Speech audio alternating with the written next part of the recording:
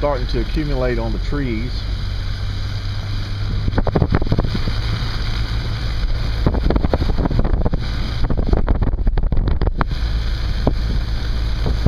It's really beautiful.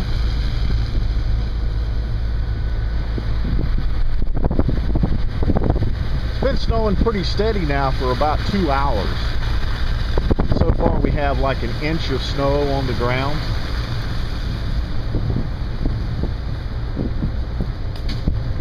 Whoa. The snow seems to be kind of powdery too. It's not real wet. But the ground surfaces are already, you know, kind of warm.